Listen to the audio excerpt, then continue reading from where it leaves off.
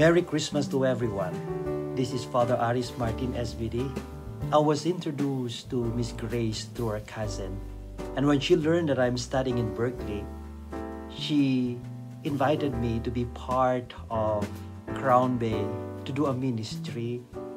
And sometimes she would text me her intentions for her staff, for her friends, and for her company.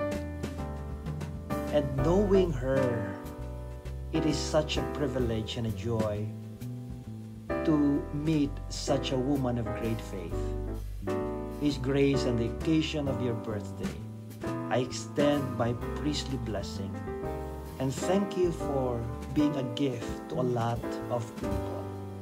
May God bless you more, protect you from all dangers, and protect you from people of evil intentions.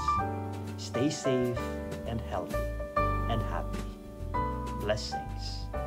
Happy birthday and Happy New Year.